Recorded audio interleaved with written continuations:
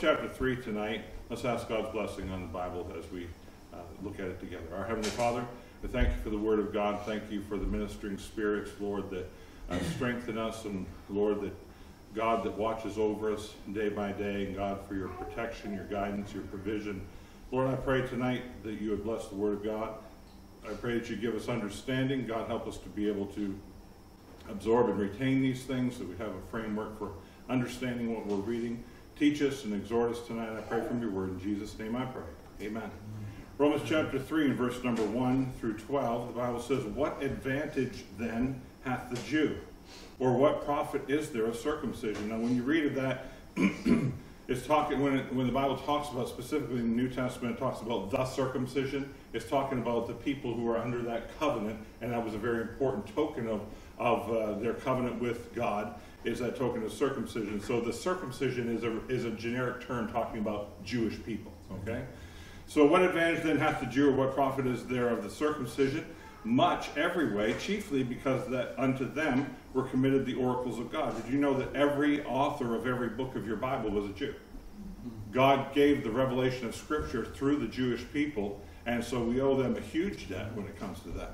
Uh, to them were committed the oracles of God. For what if some did not believe? Shall their unbelief make the faith of God without effect? God forbid. Yea, let God be true, but every man a liar. For as it is, as it is written, that thou mightest be justified in thy sayings, might overcome when thou art judged. but if our unrighteousness commend the righteousness of God, what shall we say? Is God unrighteous who taketh vengeance? I speak as a man. In other words, I speak as some people would make that argument. Verse number six God forbid. For then how shall God judge the world?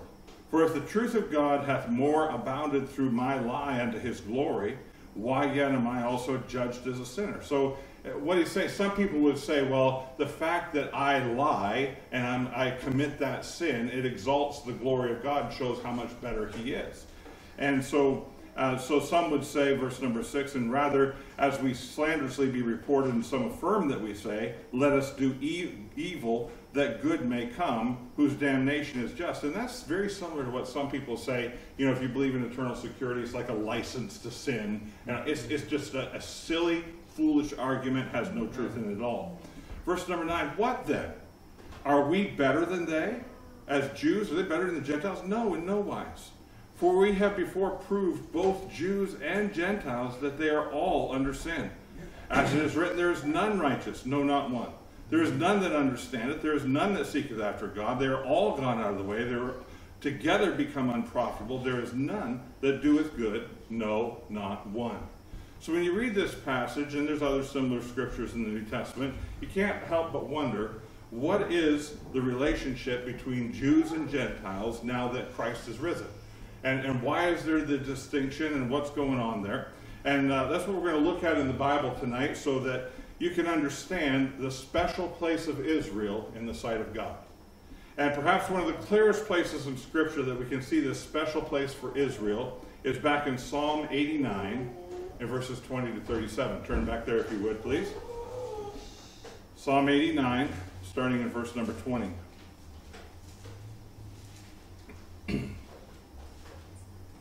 Psalm 89, verse number 20, the Bible says, I have found David my servant. Now that's literal, historical King David of Israel. I have found David my servant, with my uh, holy oil have I anointed him, with whom my hand shall be established, mine arm also shall strengthen him. The enemy shall not exact upon him, nor the son of wickedness afflict him. And I will beat down his foes before his face, and plague them that hate him. My, but my faithfulness and my mercy shall be with him, and in my name shall his horn be exalted. I will set his hand also in the sea, and his right hand in the rivers. He shall cry unto me, Thou art my Father, my God, and the rock of my salvation. Also, I will make him my firstborn, higher than the kings of the earth. My mercy will I keep for him forevermore, and my covenant shall stand fast with him. And if you're an underliner, you ought to write that, uh, underline that down because there's a, a lot of people today who will say God's all through with Israel. He's all done dealing with Israel, and, and it's all over. But he said, My mercy will I keep with him forevermore, and my covenant uh, shall stand fast with him. His seed also will I make to endure forever, and his throne as the days of heaven. If his children forsake my law and walk not in my judgments, if they break my statutes and keep not my commandments, then will I visit their transgression with the rod and their iniquity with stripes. So that's that covenant we were talking about last time. That God says, look, if you don't, if you disobey me and you get out of line, I'm going to deal with you and deliver you to the enemies. Verse number 33, nevertheless, my loving kindness will I not utterly take from him. Again, underline that. I will not utterly take from him, nor suffer my faithfulness to fail. My covenant will I not break, nor alter the thing that is gone out of my lips. Once have I sworn by my holiness that I will not lie unto David. His seed shall endure forever, and his throne as the sun before me. It shall be established forever as the moon, and as a faithful witness in heaven, Selah. And Selah is kind of like, that's it, that's all. so God makes it very clear, several times, very declarative statements that his covenant will not be broken. He will not utterly forsake them. He will not totally put them aside. And that is unique to Israel as a nation. It's unique to David as Israel's king, and often what is called the sure mercies of David. That says God's giving him a guarantee, if you will, and a promise that he would have a descendant on, his, on the throne of his kingdom forever. So that promise is ultimately fulfilled in Jesus Christ. And you see some shades of that if you look back at verse number, uh, verse number 27. I will make him my firstborn higher than the kings of the earth. That's Jesus Christ is the ultimate fulfillment, uh, having descended from David. So now we get to, before we get to the kingdom part, let's start back where God began with calling out a nation and what made Israel so special in the beginning. And God calls uh, out a nation of people through his covenant, through one man, who is, and you'll see him referred to by two names. Initially, he's called Abram, and then God changes his name to Abraham. Same person, okay? So look at Genesis, or, well, let me read you first of all Galatians 3 and verse 16. Now to Abraham and his seed were the promises made. That is for him and for those who, who came from his physical line genealogy, if you will. He saith not, and to seeds as of many, but as of one, and to thy seed, which is Christ. So we, we see that it's a very specific line. It's a very specific group of promises to a very specific group of people who are literally uh, ethnically and physiologically related through, through uh, coming from Abraham, Isaac, and Jacob. All right, so let's start back at Genesis chapter 12 and verse number 1. Genesis chapter 12, verse number 1, this is where God begins dealing with the man called uh, Abram and, uh, and God making some promises to him. Genesis chapter 12 and verse number 1. And as we go through this here and we get further on down the line, you'll see why this is important because having a proper perspective of these things and the place of Israel is really essential and fundamental to understanding much of your Bible.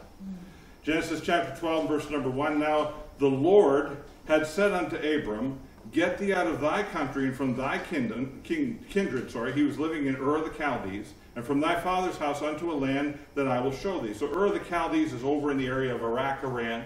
It's in that area of the Middle East, and he's saying you're going to leave here and you're going to start traveling west and I'm going to show you where you're going to go. We said, well, where am I going? You'll know when you get there. and that's really, he says, the land that I will show thee. Verse number two, and I will make of thee a great nation. That's where it all started, with one man. And God says, Abram, I'm going to make out of you, from your descendants, a great nation. And I will bless thee and make thy name great, and thou shalt be a blessing. And verse number three is very important. And I will bless them that bless thee, and curse him that curseth thee, and in thee shall all families of the earth be blessed.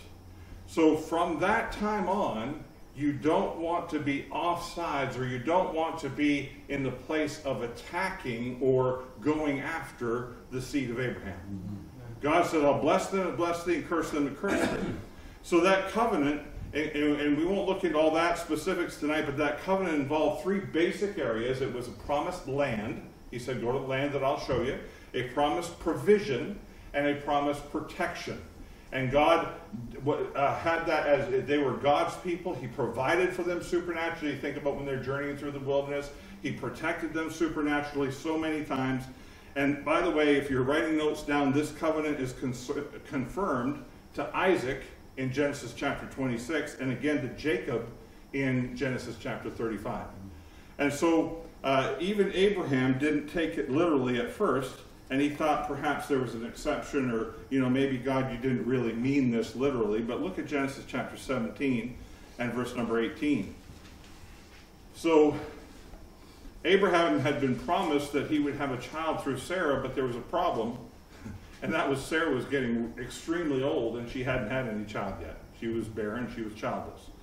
Genesis chapter 17, verse number 18, and Abram, Abraham said unto God, Oh, that Ishmael might live before thee. And so Ishmael was a son of, uh, of Abraham through his bondmaid Hagar, and that was a whole mistaken situation. And whenever you, you read about that in the Bible, whenever we get in and try to fix things for God and get out of God's plan, we always end up messing things up. And, and Ishmael is the father generically of the Arab nations, which have become em- enemies of Israel for generations and generations. And I'm sure Abraham rues the day that, uh, that he decided to go that route. Uh, but he said, Oh, that Ishmael might live before thee. So Abraham, in his reasoning, was thinking, Well, Lord, you said I'd have a son. I kind of do have a son, like a, you know, it's not exactly like you said, but when God does something, he's going to do it exactly like he said. He said, Oh, that Ishmael might live before thee. And God said, verse number 19, Sarah, thy wife, shall bear thee a son, indeed, and thou shalt call his name Isaac and I will establish my covenant with him for an everlasting covenant, and with his seed after him. As for Ishmael, I have heard thee. Behold, I have blessed him, and will make him fruitful, and will multiply him exceedingly. Twelve princes shall he beget, and I will make him a great nation. But my covenant will I establish with Isaac, which Sarah shall bear unto thee at this set time in the next year. So the Bible makes it very clear that the line goes Abraham, not Ishmael, but Isaac. So that, because there was another son there. And so then uh, you'll find the same thing true with uh, Jacob, who becomes the father of the 12 tribes of Israel, because Jacob also had a brother. And look at Genesis 25, verse number 21. So God establishes his covenant with a very, not just from Abraham, yes, it starts with Abraham, but it's not like all people related to Abraham. It's Abraham, Isaac, and Jacob. And that's why you'll see those three lumped together many times in Scripture, because it's very exclusive, that direction. Verse number 21 of uh, Genesis 25 And Isaac entreated the Lord for his wife because she was barren. And the Lord, uh, so, so this was also the case with Isaac's wife, uh, who was, who was a, Isaac was the son of, uh, of Sarah, and now his wife, Rebekah, is barren as well. And the Lord was entreated of him, and Rebekah, his wife, conceived. Verse 22 And the children struggled together within her, and she said, If it be so, why am I thus? And she went to inquire of the Lord, and the Lord said unto her, Two nations are in thy womb, and two manner of people shall be separated from thy bowels, and the one shall be stronger than the other people, and the elder shall serve the younger.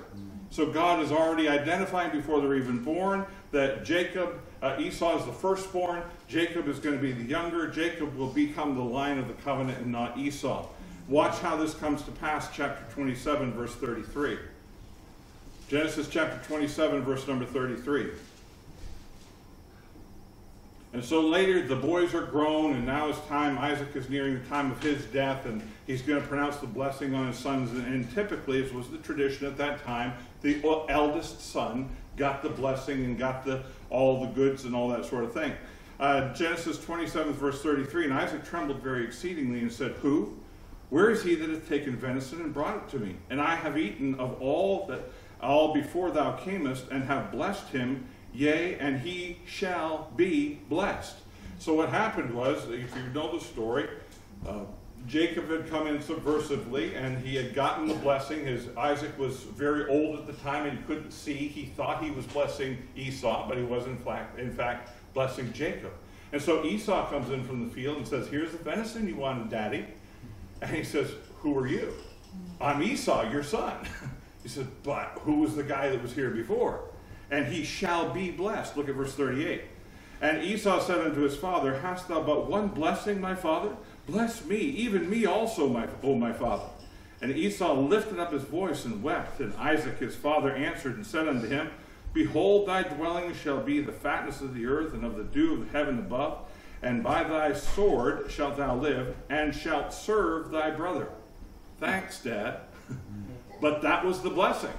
That was what God had established. And it shall come to pass that when thou shalt have dominion, that thou shalt break his yoke from off thy neck. And Esau hated Jacob because of the blessing wherewith his father blessed him. And Esau said in his heart, The days of mourning for my father are at hand. Then will I slay my brother Jacob. So Esau, he is the father of the nations that inhabit what we pretty much know now as Jordan and Syria. Is there still any problems with Jordan, Syria, and Israel? Man, this thing's been going on for a long time. But God said, I'm going to establish a covenant. It's going to go from Abraham. It's going to be with Isaac, not Ishmael. It's going to be with Jacob, not Esau. And God was very specific about the ethnic bloodline of his covenant. All right, secondly, it was not because Israel was any more righteous. So God said, I'm going to establish this people. I'm going to start with Abraham. It's going to go to Isaac, then Jacob. Jacob's going to have 12 sons. They're going to have lots and lots of sons and grandsons, and they're going to become a nation, which, of course, historically we know happened. And, you know, people will oftentimes object and they'll say, well, that's racist. You know, that, that's, uh, that's uh, uh, uh you know, favoritism where God is showing favoritism. It's not because they were better than everybody else. And the Bible makes that very clear. Look at Deuteronomy chapter 9. God did not make a covenant with them because they were so good that he chose them like, oh, you're the best of the whole world. He made a covenant with them to demonstrate his power and his glory through them. Mm-hmm. All right, look at Deuteronomy chapter 9, verse number 4. Deuteronomy 9, verse number 4 Speak not thou in thine heart, after that the Lord thy God hath cast them out from before thee, saying, for my righteousness the Lord hath brought me in to possess this land, but for the wickedness of those these nations the Lord doth drive them out from before thee. Not for thy righteousness, or for the uprightness of thine heart, dost thou go to possess their land, but for the wickedness of these nations the Lord thy God doth drive them out from before thee, that he may perform the word which the Lord sware unto thy fathers. God's going to keep his promise. And God said, I'm going to do all this. Has nothing to do with how good you are, but it has to do with my promise, and I'm going to keep my word. And then he says this uh, Unto thy fathers Abraham, Isaac, and Jacob. There's one of the instances where you see them put together. Verse number six Understand therefore that the Lord thy God giveth thee not this good land to possess it for thy righteousness, for thou art a stiff necked people. So he's saying, he's making it very, very clear. It has nothing to do with you guys. and, and look up here, you know, the grace of Christ has nothing to do with us. It has to do with the goodness of Christ, right? But so God chose a, a, an individual, built from that man a nation through his sons and grandsons, etc. And it wasn't because of they were special, but because God was special, and He was demonstrating to the entire world if people will observe my covenant and follow me and worship me, there will be nothing that can stop them and nothing that can harm them. All right, now, thirdly, that special place was conditional. We touched on this last week on keeping up their end of the covenant. And if they didn't keep up their end of the covenant, what happened? They were delivered to their enemies and they were taken into captivity. Look at Second Chronicles chapter 6. so we're talking about the unique place of Israel. What, is, what, is, what advantage then hath the Jews? We're talking about uh, when we first began tonight. What, what's the big deal about it? Well, they are the people of covenant, the people of promise. And it's not because they're special, but because God's special. And uh, when they don't keep up their end of the bargain, 2 Chronicles 6 and verse 36, if they sin against thee, for there is no man which sinneth not, and thou be angry with them, and deliver them over before their enemies, and they carry them away captives unto a land far off or near. So the kings of Syria attacked them and had victory. The kings of the Chaldees, the king, uh, the, the kings of, of the east came in, and, and for so, so several times they were taken away into captivity. Why? Because they refused to obey God.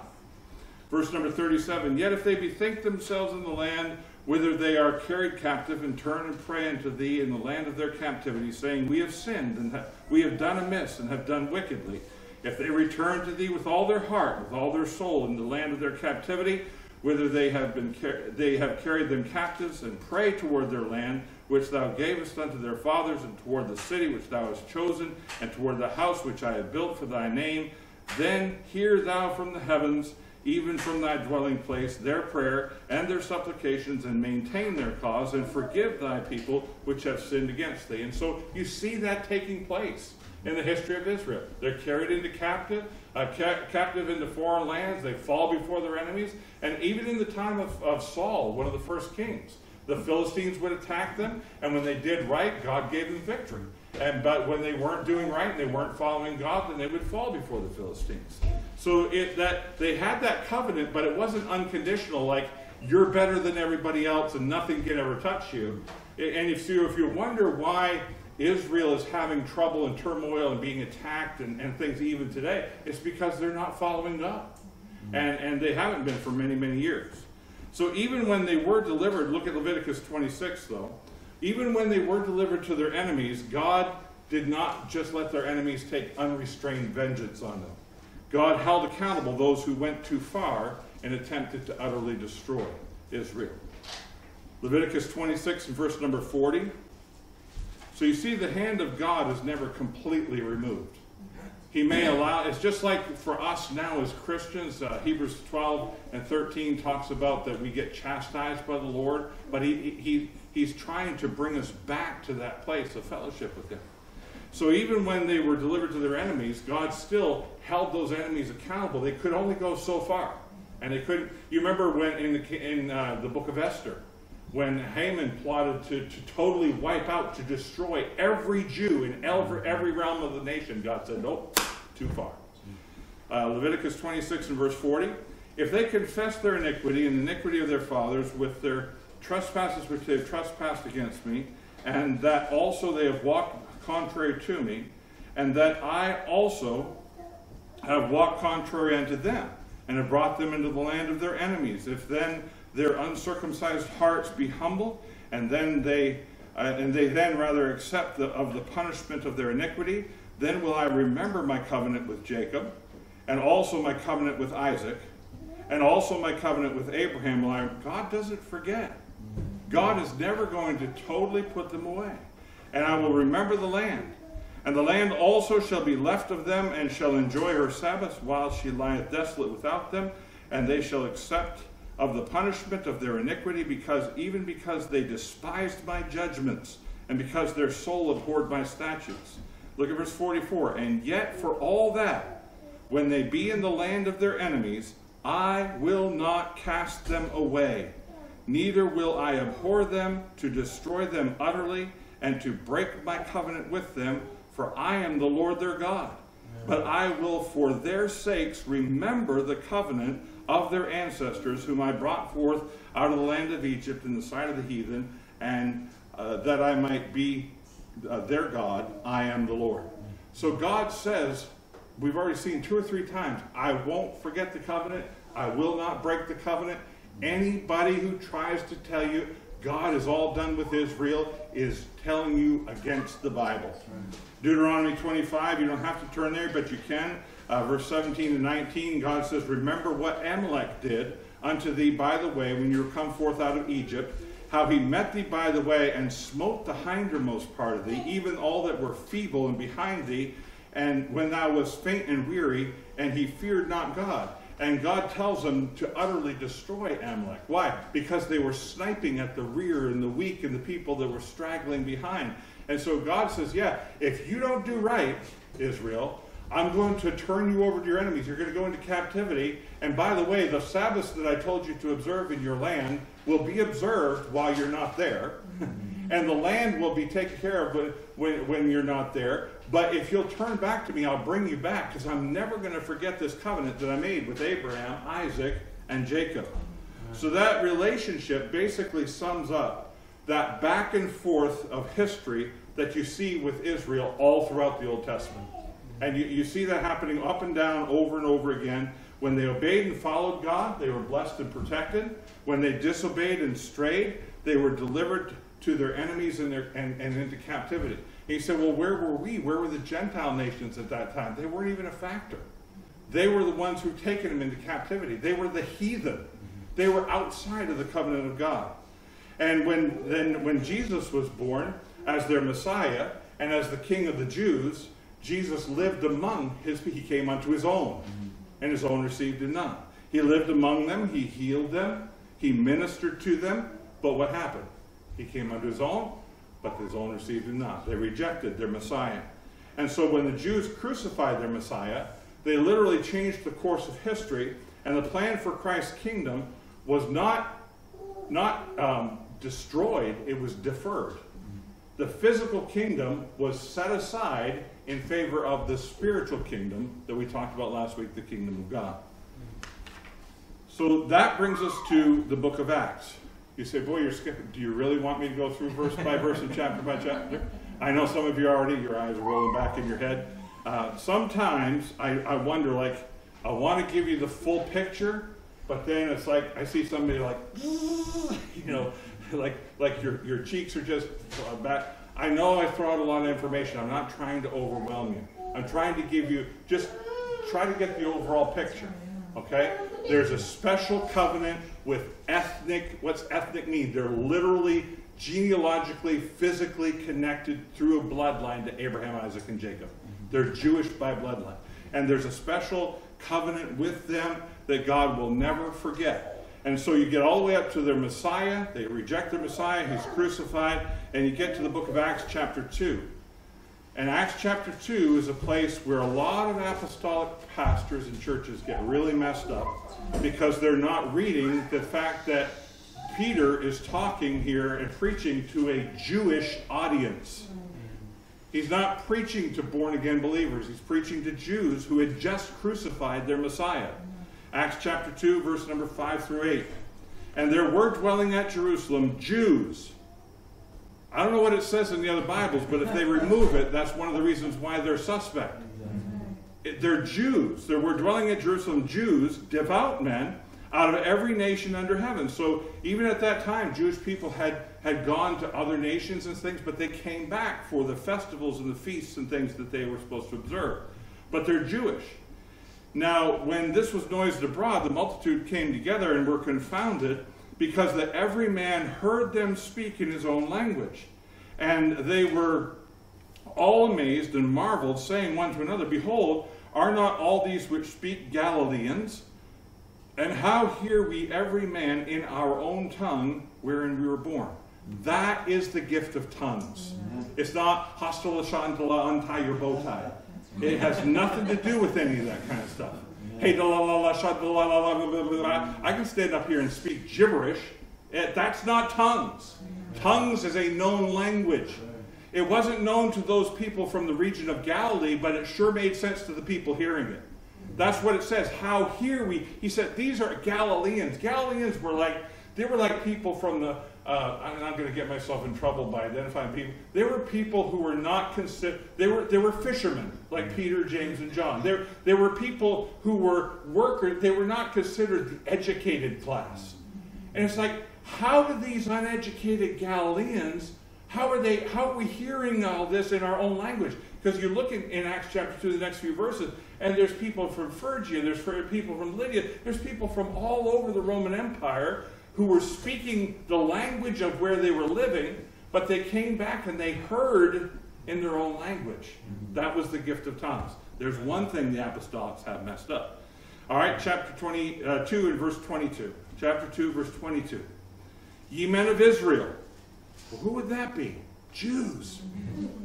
That's who he's talking to. Hear these words Jesus of Nazareth, a man approved of God among you by miracles and, what and wonders and signs which God did by him in the midst of you, as ye yourselves also know. Him being delivered by the determinate counsel and foreknowledge of God, ye, who's ye? you Jewish Israelites here in Jerusalem, ye have taken, and by wicked hands have crucified and slain, whom God hath raised up, having loosed the pains of death, because it was not possible that he should be holden of it. So he's calling them out on the crucifixion. He's saying, listen, you guys stand stood by here. If you weren't the one of the ones calling, crucify and crucify, you allowed it to happen. You're, you're uh, culpable. You're to blame here for this. All right, look at verse 32. So he said, You've taken this Jesus and by uh, wicked hands crucified and slain. This Jesus, verse 32, hath God raised up, whereof we all are witnesses. Therefore, being by the right hand of God exalted, having received of the Father the promise of the Holy Ghost, he hath shed forth this which ye now see and hear. For David is not ascended into the heavens, but he saith himself, The Lord said unto my Lord, Sit thou on my right hand, until I make thy foes thy footstool. Therefore, let all the house of Israel, of Israel, know assuredly that God hath made that same Jesus whom ye have crucified, both Lord and Christ. He is Christ the Messiah, the promised one, but he's also Lord because his foes have been made his footstool. Now, when they heard this, who's they? Israelite Jews dwelling at Jerusalem. When they heard the fact that you guys are to blame and that one that you crucified and hung on a tree, God raised from the dead, and he's not only Christ, but he's also Lord. When they heard this, they were pricked with, uh, in their heart and said unto Peter and to the rest of the apostles, Men and brethren, what shall we do? Now look up here. What shall we do in light of what? In light of the fact we've just crucified our Messiah. You remember in, in Acts chapter 16, the Philippian jailer says, What must I do to be saved? Not the same question. That was a Gentile saying, What do I do to be born again? They're saying, We have crucified our Messiah. He is Lord and Christ. What do we do about that? All right? Verse 38 Then Peter said unto them, Repent and be baptized, every one of you, in the name of Jesus Christ for the remission of sins, and ye shall receive the gift of the Holy Ghost. For the promise is unto you and to your children. How do you not know that and read the Bible? And to all that are far off, even as many as the Lord our God shall call. And with many other words did he testify and exhort, saying, Save yourselves from this untoward generation. Not save yourself from your sins, save yourself from being uh, accountable for crucifying your Messiah. What do we do? We crucify. Yes, yes, we're to blame for that. What do we do about it? Is there a way out of this? Yes, repent and be baptized in Jesus' name. What was that? As a public confession that we have accepted him as the Messiah. We missed it the first time, we got it right this time. Okay? And that's Acts 2:38. And so that's what some of the apostolic churches will use to teach baptismal regeneration, which is that you and I have to be baptized in the name of Jesus for the remission of sins. That's not to us. He's talking to Jews about a very specific thing because they crucified him. So, tongues and baptismal regeneration, uh, as taught by the apostolic churches, uh, is not biblically correct. And if you understand the unique place of Israel, then you'll understand why. All right, so this right here is, as I mentioned, where the apostolic de- denominations get messed up because they're not rightly dividing the word of truth and they're not properly recognizing the place of Israel. It's absolutely essential that we recognize the unique place, place rather, that Israel holds in God's plans. And in Scripture, we have to be able to distinguish, and it's found right in 1 Corinthians 10 32, is God talking to Jews, Gentiles, or the church of God? He says that I, I, I, give no offense to the Jews, to the Gentiles, nor to the church of God. There's three groups in the Bible. You have to know who God's talking to when you're reading your Bible.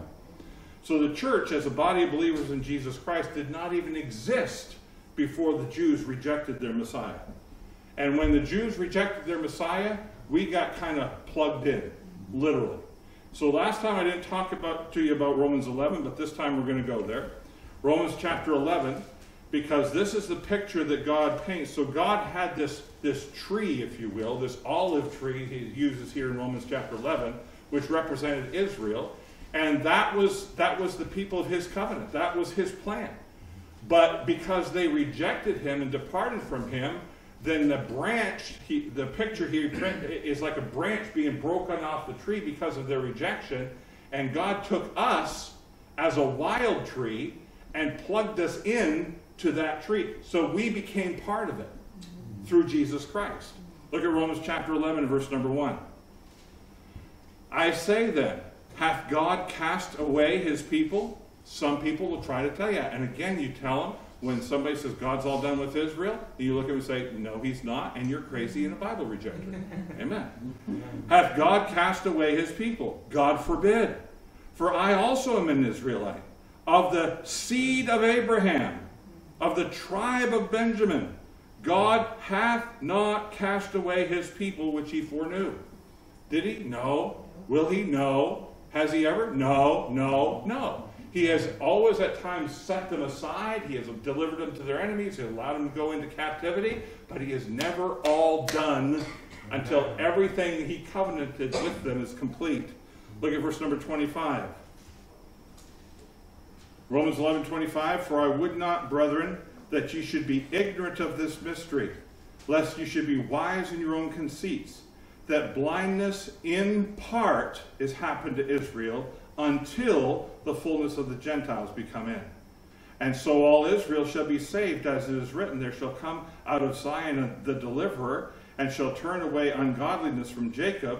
Notice that uh, deliverer is capitalized there because it's a reference to the returning Christ. Mm-hmm. When he comes as the deliverer. And uh, for this is my covenant with them when I shall take away their sins. So the deliverer, the, the Messiah, is kind of return and he's going to finish what he started. So right now they rejected their Messiah, and right now that covenant has been temporarily set aside while God brings Jew and Gentile together in the church of Christ, the kingdom of God. And when we're taken out in the rapture, he's going to resume, pick right up where he left off. And, and he's going to finish what he started. Look at verse number uh, 11. So, where do we fit in with this? Romans 11, verse 11. I say then, have they stumbled that they should fall? God forbid. Again, uh, is God all done with them? Are, are they completely finished? No, God forbid. But rather, through their fall, salvation has come unto the Gentiles for to provoke them to Gentiles. We got in because they rejected. So, I, you know, from a from a scriptural perspective, we can't really applaud like, yes, they rejected their Messiah, but for personal reasons, yes, we got in because they rejected their Messiah. Look at verse number 17. And if some of the branches be broken off, and thou, that is we Gentiles, being a wild olive tree, were grafted in among them. Now, I don't know a lot about botany and things like that, but I know, in fact, we have a tree in our backyard. Some of you have seen that in the corner. It's huge now. And that was literally a tree with a bush that was grafted on top of it. And then they grew together, and so now the branches and the foliage of that bush are, are huge, but it came from a trunk of a tree. And you can take part of one tree, and, and sometimes they'll do that in orchards. They'll take part of a tree and they'll literally they'll cut off a branch and they'll bind those things together, and so the, the tree kind of heals itself and grows together, but it's from two distinct things. And that's literally what he's talking when it says graft in, that's what happened to us. So that branch of Israel was broken off by their rejection, and we got grafted in through Jesus Christ. All right, so we were grafted in among them, and with them partakest of the root and the fatness of the olive tree. Boast not thyself against, boast not rather against the branches. But if thou boast, thou bearest not the root, but the root thee. In other words, hey, let's not get high and mighty with the Jews. You know, we, we got in because of what they started. Thou wilt say then, the branches were broken off that I might be grafted in. Well, because of unbelief they were broken off, and thou standest by faith. Be not high minded, but fear. And so it is a high privilege and great grace of God that we got in at all. Uh, look at verse number 24. If thou wert cut off, or cut out of the olive tree which is wild by nature, and wert grafted in contrary to nature into a good olive tree, how much more shall these, which be the natural branches, be grafted into their own olive tree. So, you know, are we get, are, we're saved and God's all done with it? No, God's going to bring us all together through Jesus Christ.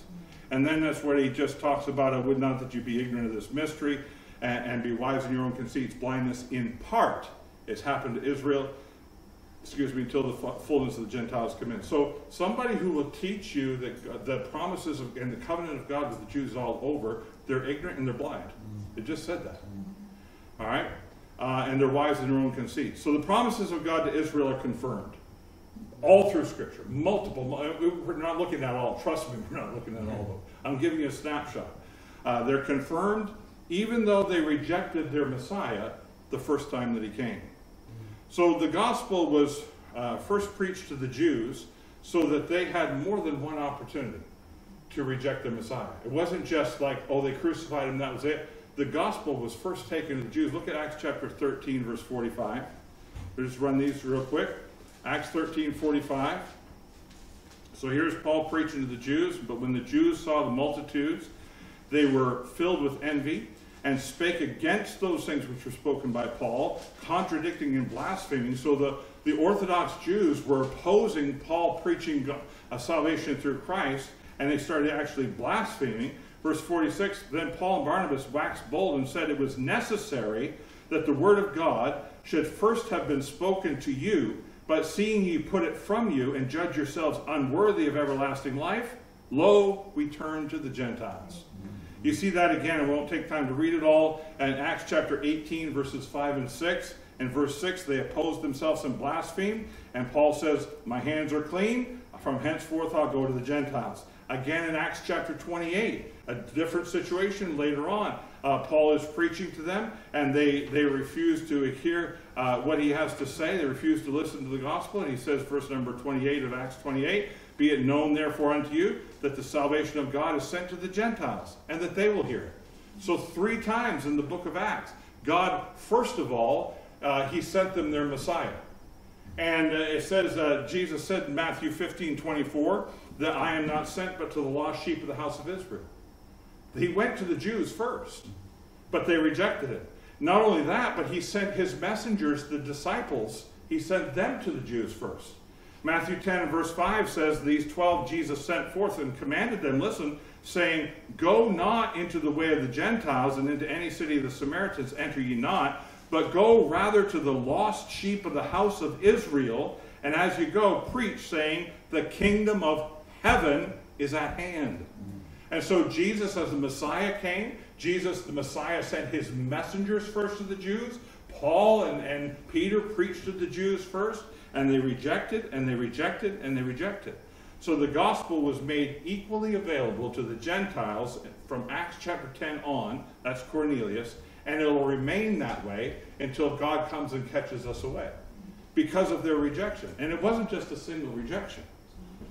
So then, lastly, you consider the prophecies of the Messiah.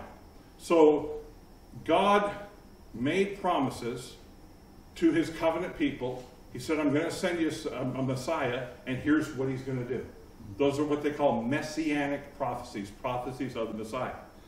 And so, of the prophecies of Messiah, some were specifically to the Jews, but then there were ones that were fulfilled to the Gentiles also. For example, the death, burial, and resurrection. That's for the whole world.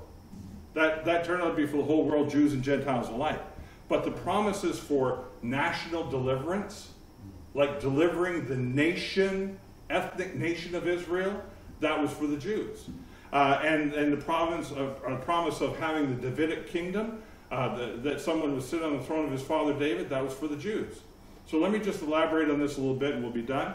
Jesus fulfilled many prophecies of the Messiah when he came the first time. Was he born of a virgin? Yes.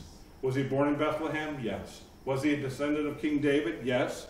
Did he flee to Egypt and later return? Yes. Um, was he preceded by a messenger, as the scripture said? Yes. Did he perform miracles of healing? Yes. Uh, would he die innocently for sins? Yes. Did he rise again as he was uh, said he was going to? Yes. Did he minister to those who were suffering and captives? Yes, he did. And look with me at this one, Luke chapter 4 and verse 17. Jesus even testified of this himself in Luke chapter 4 and verse number 17. So here in Luke 4, Jesus is really just starting his public ministry. And he's in a synagogue, and they give him the book of Isaiah to read. And he says, There was delivered unto him the book of the prophet Isaiah. And when he had opened the book, he found the place where it was written, And the Spirit of the Lord is upon me. That's quoting from Isaiah. Because he hath uh, anointed me to preach the gospel to the poor. He has sent me to heal the brokenhearted, to preach deliverance to the captives, and recovering the sight to the blind, to set at liberty them that are bruised, to preach the acceptable year of the Lord. So those are, we know now, prophecies of the Messiah. And so he's reading that, and he said, Here's what Isaiah wrote. And he closed the book, verse number 20, and gave it again to the minister and sat down. And the eyes of all them that are in the synagogue were fastened on him. So here's this man people had heard tell of Jesus, and he's reading with, you can imagine, exceptional power reading the scriptures. And everybody is just hushed, eyes fastened upon him. And he began to say unto them, This day is this scripture fulfilled in your ears. He was claiming to be the prophesied Messiah. He was claiming to, so so he did these things. He he preached of the kingdom of heaven and he and he told the ways of God and he healed people and he he died for sins and he was born where he's supposed to be born by a virgin and all those kind of things. So every time that you read in the Gospels that it might be fulfilled by, that it might be fulfilled, you remember reading that in, in the Gospels? It's really generally referring to some Old Testament prophecy that Jesus was fulfilled.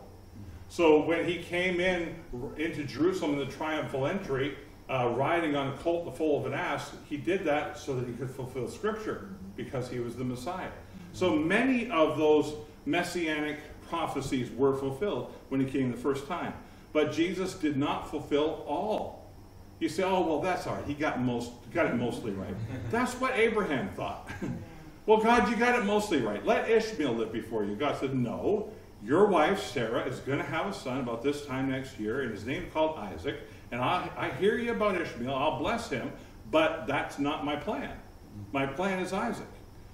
So, because God's plan called for a period of grace that, by the way, we're now living in, hallelujah, before Jesus returned to complete the rest of his unfulfilled prophecies. So you say, well, he didn't fulfill all of them. What about the rest of them? He's coming back. And he's going to do exactly what he said. That's why you read things, look at Luke chapter 3.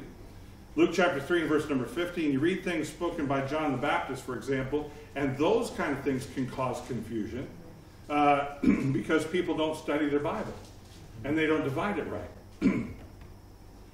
so, Luke chapter 3 and verse number 15, and as the people were in expectation, and all men mused in their hearts of John, that's John the Baptist, whether he were the Christ or not, John answered, saying unto them all, I indeed baptize you with water, but one mightier than I cometh, that uh, the latchet of whose shoes I am not worthy to unloose. He shall baptize you with the Holy Ghost and with fire. There go the apostolics again. But what's he talking about? He's talking about the two features of the Messiah. Did Jesus give us the Holy Ghost? Yes. Have we had the baptism of fire? No. Because what is that? Look at verse 17. Whose fan is in his hand, he will thoroughly purge his floor and will gather the wheat into his garner, but the chaff will he burn with unquenchable fire. Let me tell you something. That's not the baptism of the Holy Ghost. It's not the baptism of fire. It's not the cloven tongues of fire of Acts chapter 2. That's the second coming when Jesus Christ comes in flaming fire, taking vengeance on all them that know not God. And you don't want any part of that. you don't want any part of that baptism at all. So most of the unfulfilled prophecies have to do with Christ's second coming uh, when he will set up his kingdom and rule on the throne of David.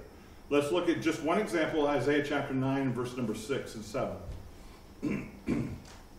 Isaiah chapter 9, verse number 6 and 7. So here is an example of some, some of the prophecies of Messiah that have not, listen to me carefully, not yet been fulfilled. God is not done. He's not going to alter his plan. He's not going to leave something out. He's not going to say, oh, it's close enough. God doesn't work that way. He doesn't forget his covenant. Isaiah 9, 6, and 7 For unto us a child is born, unto us a son is given, and the government shall be upon his shoulder, and his name shall be called Wonderful, Counselor, the Mighty God, the Everlasting Father, the Prince of Peace. Of the increase of his government and peace there shall be no end. But he never was in government the first time. And his, his time on earth did end for a while. So what's the deal? It's not been destroyed, it's been deferred for the time of this time of grace. The government is eh, his government and peace there shall be no end upon the throne of David and upon his kingdom. You say, well, symbolically, that it means nothing symbolically. It means it literally, physically.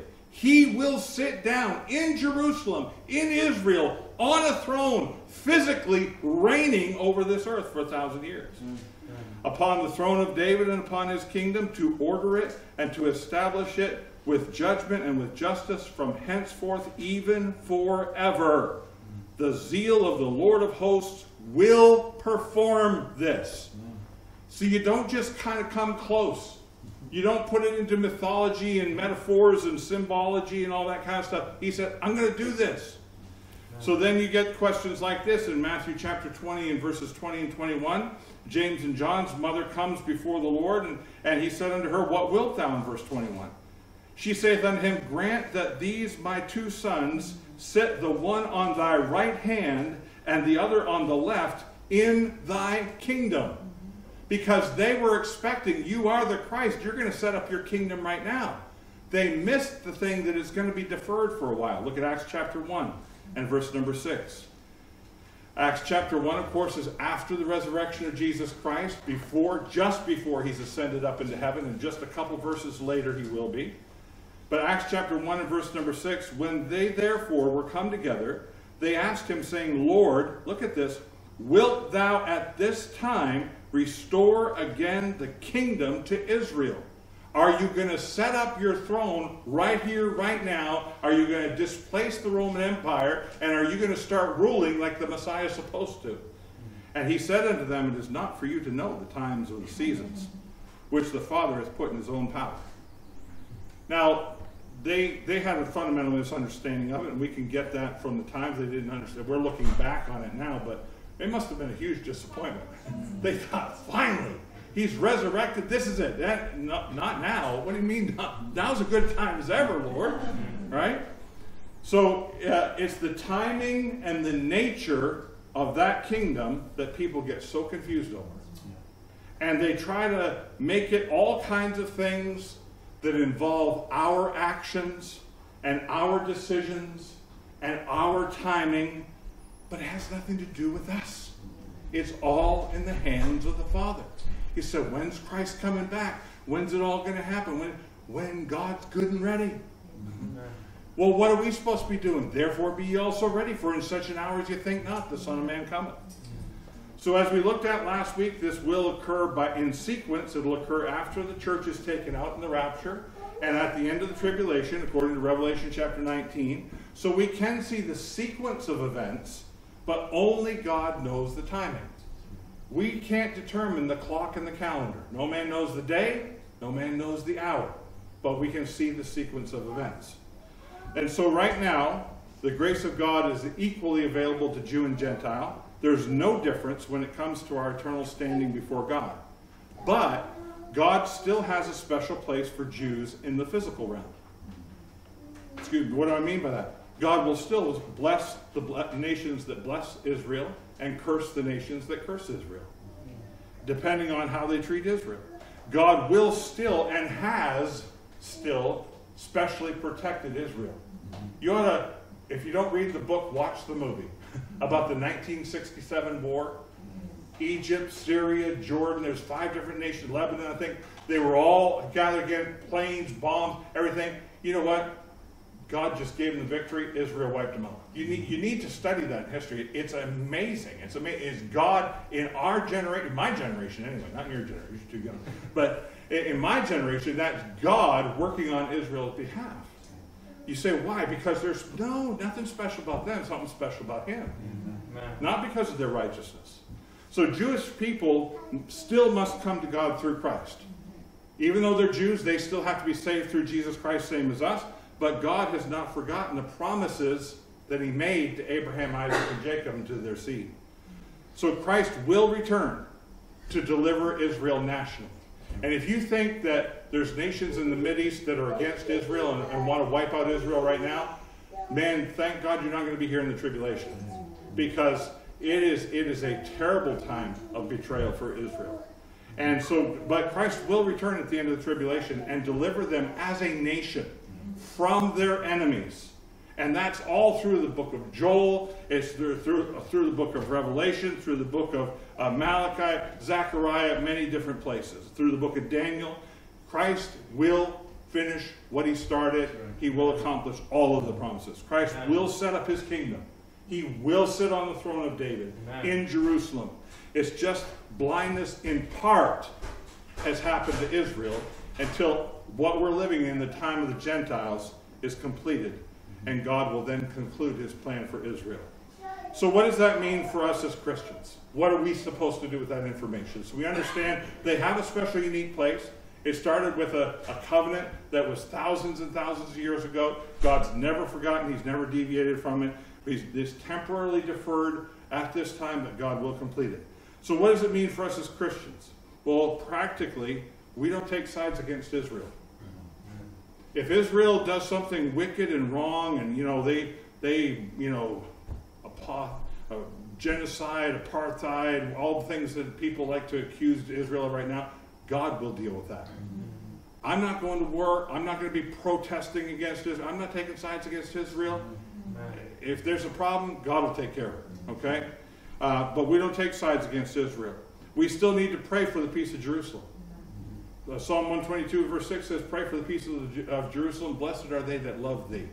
So we need to pray for their protection and for the wisdom of their leaders. We need to pray, Thy kingdom come on earth as it is in heaven. And uh, we need to look forward to the time when Christ is going to ascend his throne. You say, well, what do we get out of that? Why can we stop thinking about what we've gotten more than what we deserved out of Christ already? We need to be looking forward saying, He deserves His rightful place of glory and honor on that throne as King of Kings. And we need to try to point Jewish people today to their risen Redeemer, the Lord Jesus Christ, the Son of God. But also, we need to pay attention when we're reading our Bible. Why, why did I give you all this information? Because there's so much false doctrine from apostolic doctrine to kingdom doctrine to things that we talked about last week with keeping the law and all that kind of because people don't understand the special unique place that Israel holds in the Bible. So when you're reading you need to pay attention to who God is talking to and when he is talking to them as we read the scripture. The physical seed of Abraham, Isaac and Jacob have some special consideration as heirs to that covenant with Abraham and his generations. But we are heir to another covenant, a covenant of grace Amen. through the Lord Jesus Christ. So we will rule and reign with Christ in his eternal kingdom after the renovation by the fire. But the millennial kingdom, that thousand year kingdom on earth, is primarily fulfilling the promise to the Jews where God is going to complete everything that he started, he's going to fulfill every promise. Anything about the Messiah that is as yet unfulfilled will be fulfilled to the letter because God has not forsaken his covenant. All right, there, got that off my chest, I hope it was helpful to, you tonight. But seriously, when you're reading through your Bible, that having that context, having that perspective of things will help you to see things and make sense out of things that oftentimes can be confusing about the kingdoms and about who's called Jew, Gentile, Church of God, Kingdom of God versus Kingdom of Heaven, law versus grace. Those are fundamental things of divisions and separations you have to make. You start jumbling them together, that's where you get all kinds of false teaching. Okay? Our Heavenly Father, thank you, Lord, for the Word of God. I pray that you would uh, bless it to our hearts. God, give us understanding. Help us to remember these things. Lord, I thank you so much for John chapter 8, verse 32. It says, You shall know the truth, and the truth shall set you free. Amen. And so, God, I thank you for the freedom that comes from the Word of God and the leading of the Spirit of God. And I pray that you'd help us to uh, teach and, and uh, help others, Lord. And I pray that you'd help us to know how to expose false doctrine, how to reject it, and God also how to uh, direct people to the one and only King of Kings, the Lord Jesus Christ. I pray this in Jesus' name. Amen.